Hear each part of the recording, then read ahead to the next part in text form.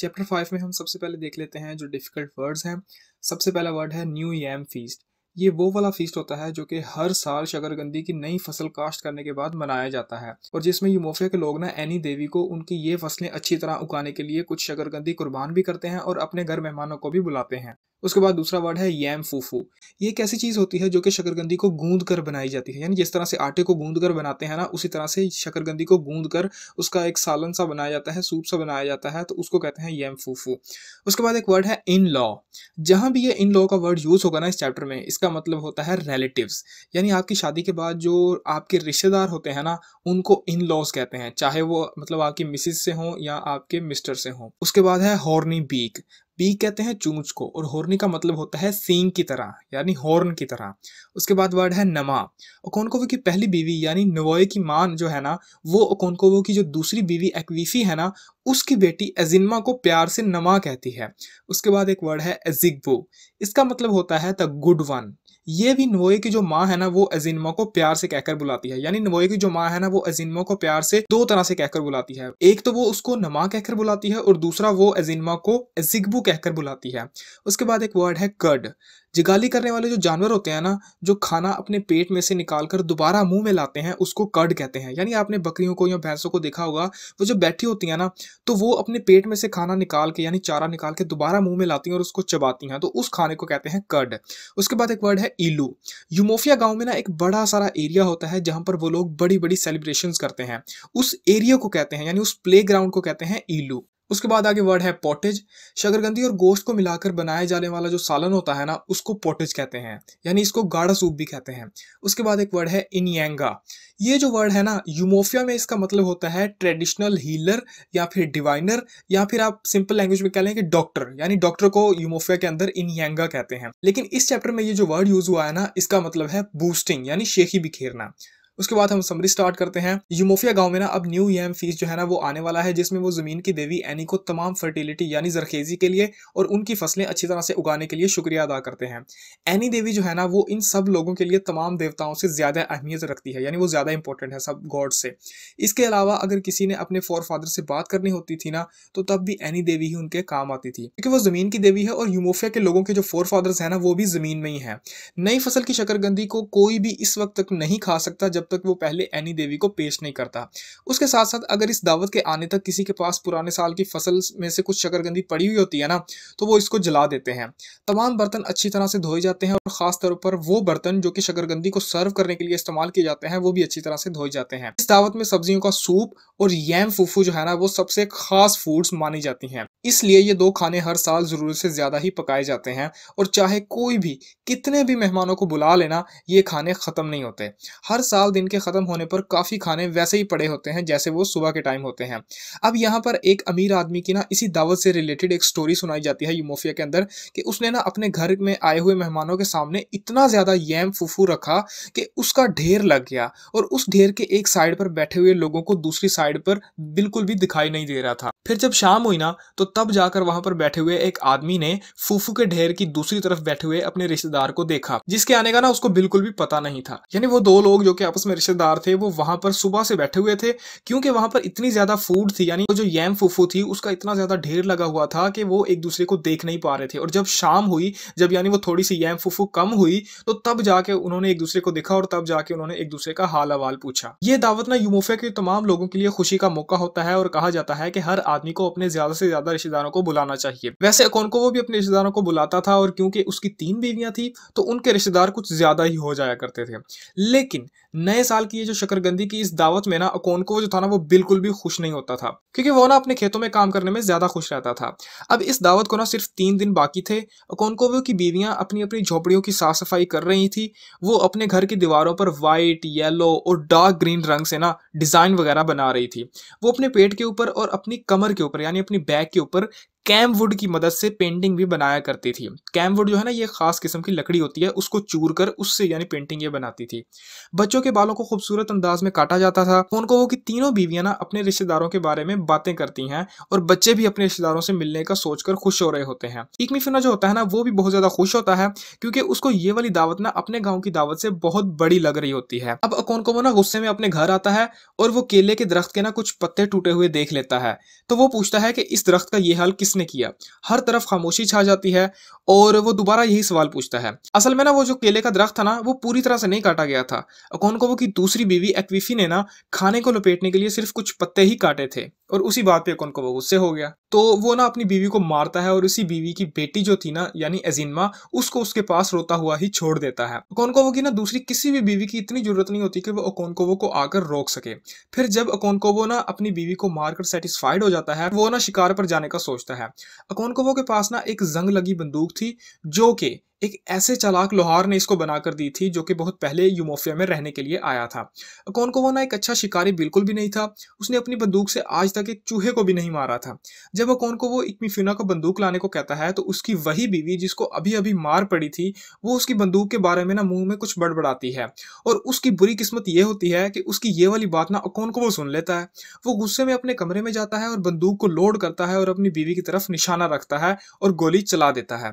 लेकिन उसकी बीवी ना जल्दी जल्दी से वहाँ पर एक छोटी सी दीवार पर चढ़ जाती है और ओकोनकोवो की दूसरी बीवियाँ और बच्चे रोने लग जाते हैं। ओकोनकोवो बंदूक फेंक देता है और अपने घर के साथ वाले गोदाम में चला जाता है और वो अपनी बीवी को भी वहाँ पर ले जाता है। वहाँ पर वो उसे काफ़ी डराता है और फिर बंदूक लेकर वहाँ से चला जाता है। इस हादसे के बावजूद भी ना अकोनकोवो के घर में नई शकरगंदी वाला त्यौहार बड़ी खुशी से मनाया गया। इसी सुबह अकोनकोवो ने ना नए साल की शकरगंदी और पाम ऑयल को अपने फोर फादर्स को पेश किया और अपने घर वालों की हिफाजत की दुआ मांगी। जैसे जैसे दिन गुजरता गया ना अकोनकोवो के बहुत से रिश्तेदार वहाँ पर आते गए और सब ना अपने साथ पाम ऑयल लेकर आ रहे थे और रात को जब तक वो अपने घरों को नहीं गए ना, वो तब तक शराब ही पीते रहे। अगला दिन जो था ना, वो ओकोनकोवो के गाँव और उनके हमसाया गाँव के दरमियान कुश्ती का मैच वाला दिन था। ये कहना बहुत मुश्किल था कि यूमोफिया के लोग किस दिन को ज़्यादा पसंद करते थे, क्योंकि वो पहला दिन भी खुशी से मनाते थे और दूसरा दिन भी उतनी ही खुशी से मनाते थे। लेकिन इसमें कोई शक नहीं था कि ओकोनकोवो की जो दूसरी बीवी थी ना, वो दूसरे दिन के मैच को कुश्ती को बड़ी शौक से देखती थी। बहुत साल पहले जब ओकोनकोवो की यही बीवी पूरे गाँव में सबसे ज़्यादा खूबसूरत औरत थी ना तो तब अकोनकोवो ने ना कुश्ती के मुकाबले में एक ताकतवर आदमी जिसको लोग द कैट कहते थे, यानी एमेलिंस द कैट जिसको कहते थे ना, उसको हरा कर ना अकोनकोवो ने अपनी इसी बीवी का दिल जीतने की कोशिश की। लेकिन तब ना उसने अकोनकोवो से शादी इसलिए नहीं की क्योंकि वो बहुत ज़्यादा गरीब था और वो ना इसकी शादी में ब्राइड प्राइस नहीं दे सकता था। ब्राइड प्राइस कहते हैं कि जो दुल्हन को पैसे देते हैं ना, जो दुल्हा होता है ना, जब किसी उससे शादी करता है दुल्हन से तो उसको ना कुछ पैसे देने होते हैं। तो कौन को वो चूँकि गरीब था, ब्राइड प्राइस नहीं दे सकता था, इसलिए वीफी जो थी ना, उसने उस टाइम ओकोनकोवो से शादी नहीं की। लेकिन बाद में ना वो अपने खामन को छोड़कर ओकोनकोवो के पास वापस आ गई और ओकोनकोवो की दूसरी बीवी बन गई। अब अकीवीफी जो है ना, वो एक पैंतालीस साल की औरत है, लेकिन वो आज भी कुश्ती के मुकाबले को इतने ही शौक से देखती है, जिस तरह से वो तीस साल पहले देखती थी। यानी जब वो सिर्फ़ पंद्रह साल की थी। इस नए साल की दावत के दूसरे दिन की शाम को ना एक्वीफी और एजिनमा आग के पास बैठी हुई पानी के गर्म होने का इंतज़ार कर रही होती हैं। एक्वीफी ने ना अभी अभी एक मुर्गी को मारा था और अब वो इस उबले हुए गर्म पानी को इस मुर्गी के ऊपर डाल रही होती है। फिर एक्विफी ने ना वो पानी वाला गर्म बर्तन उठाकर साइड पर रख दिया और अपनी काली हथेलियों की तरफ़ देखने लग पड़ी। उसकी बेटी एजिनमा ये देखकर बहुत हैरान हुई और वो अपनी माँ से पूछती है कि क्या वाकई बड़े लोगों के हाथों को आग नहीं जलाती? एक्विफी ना उसके जवाब में हाँ कह देती है। एजिनमा जो है ना, वो अपनी माँ को उसके नाम से बुलाती थी।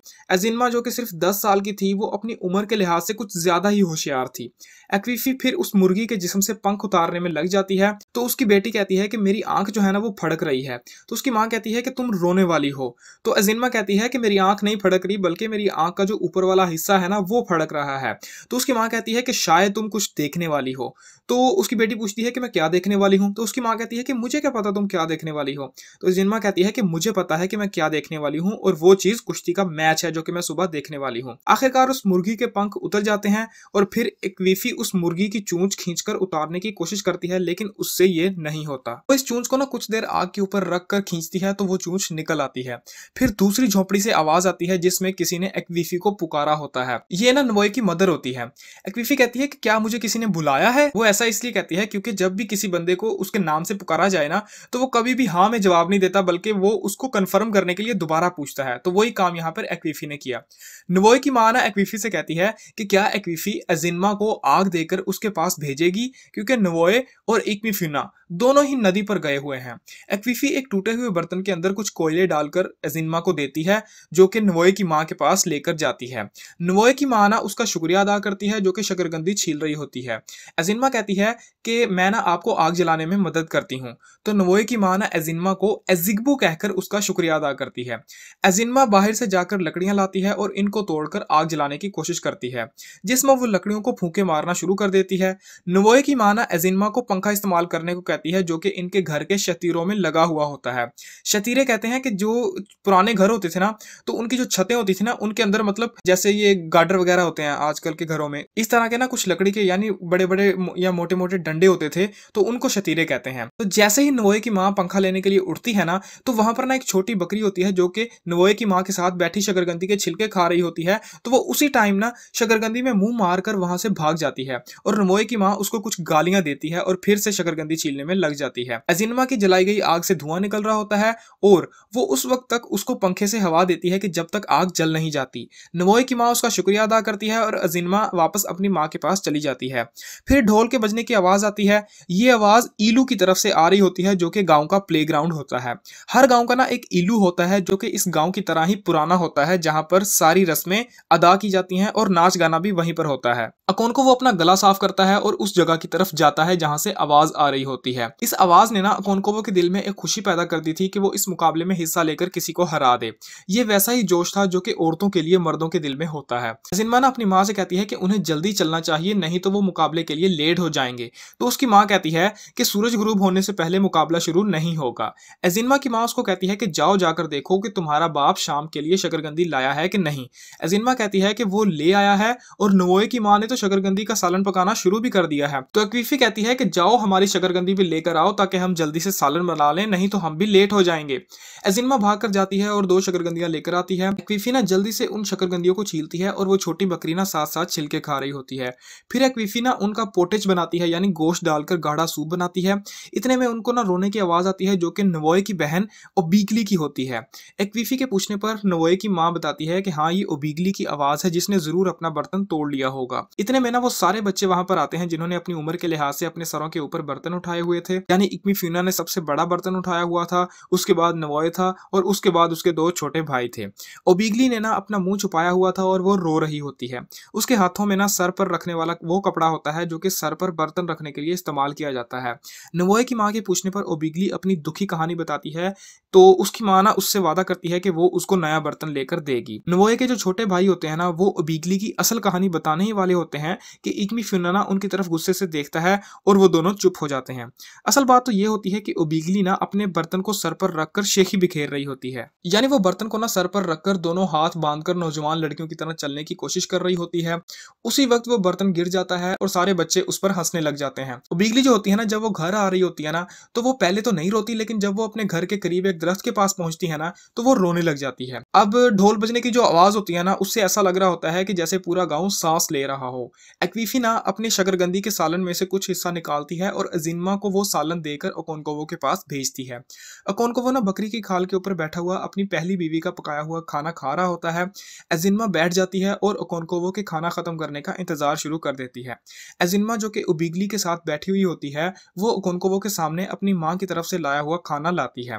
अकोनकोवो एजिनमा को तमीज से बैठने को कहता है, जिसके बाद वो अपनी दोनों टांगों को जोड़कर बैठ जाती है।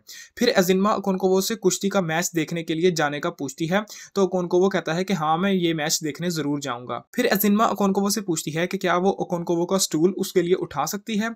तो ओकोनकोवो कहता है कि नहीं, ये एक लड़के का काम है।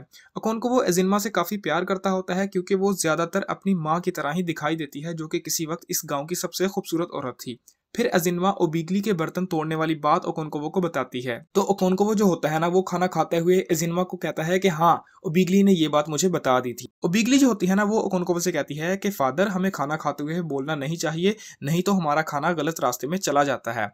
तो ओकोनकोवो उसको कहता है कि, तुम बिल्कुल ठीक कह रही हो। और ओकोनकोवो ये भी कहता है कि एजिनमा देखो ये जो बिगली है, ये तुमसे छोटी है, लेकिन इसमें तुमसे ज़्यादा अकल है। फिर वो अपनी दूसरी बीवी का खाना खाना शुरू कर देता है। वो बिगली जो होती है, वो अपनी माँ के पास बर्तन वापस ले जाती है। फिर नकीची जो होती है ना, जो कि ओकोनकोवो की तीसरी बीवी की बेटी होती है, वो खाना लेकर आती है और ढोल बजने की आवाज़ अभी भी आ रही होती है। अब मैं बताता हूँ इसका क्रिटिकल एनालिसिस जब हम देखते हैं कि ओकोनकोवो दावत में जाने में इतना ज़्यादा इंटरेस्टेड नहीं होता तो इसका मतलब यह है कि वो अपनी लैंग्वेज से भी डिस्कम्फर्ट फील करता है। क्योंकि दावत में दो ही चीज़ें होती हैं, एक तो खाना और दूसरा बातें। और यही बात इसको अपने कबीले से, यानी क्लैन से अलग करती है। दूसरी तरफ़ इकमीफ्यूना जो होता है ना, वो इस फ़ंक्शन को लेकर बहुत ज़्यादा खुश होता है। जब भी कौन को वो ना थोड़ा सा अनकंफर्टेबल फील करता है ना तो वो गुस्से में आ जाता है। और जब वो गुस्से में आता है तो वो अपने आपे से बाहर हो जाता है। और इस तरह वो हर बार गुस्से में आकर बहुत ज़्यादा तबाही मचाता है, जैसा कि उसने अमन के दिनों में किया था, और जो उसने इस चैप्टर में अपनी दूसरी बीवी के साथ भी किया था।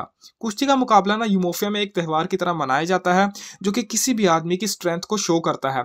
बिल्कुल इसी तरह से एक्विफी जो थी ना वो भी अकोनकोवो की स्ट्रेंथ से इंप्रेस होकर अकोनकोवो के पास आई थी। यूमोफिया के अंदर ना किसी के भी नाम के अंदर बहुत पावर होती है। जिस तरह से एजिनमा अपनी माँ को उसका नाम लेकर बुलाती है ना तो ये चीज़ शो करती है कि उनका रिश्ता कितना पावरफुल है। उसी तरह से एक्विफी और एजिनमा जो होती है ना, वो इस चैप्टर में बहुत समझदारी के साथ आग को संभालती हैं और आग जो है ना, वो इस नॉवल में अकोनकोवो के जुनून के साथ कंपेयर्ड है। यानी आग जो है ना, वो अकोनकोवो के जुनून के लिए सिंबल यूज़ किया गया है। तो इसका मतलब ये हुआ कि एक्विफी और एजिनमा जो है ना, वो ओकोनकोवो को अच्छी तरह से डील करती हैं। और जब इक्विफिना गुस्सा दिखाकर नवोए के छोटे भाइयों को चुप करवा देता है ना तो ये चीज़ ये शो करती है कि वो इस फैमिली का कितना ज़्यादा हिस्सा है। ओकोनकोवो की जो मर्द नज़र आने वाली जिद है ना, वो इसको एजिनमा के लिए प्यार दिखाने से रोकती है और वो इससे काफ़ी सख्ती से बात करता है, लेकिन अंदर से वो इससे प्यार करता होता है।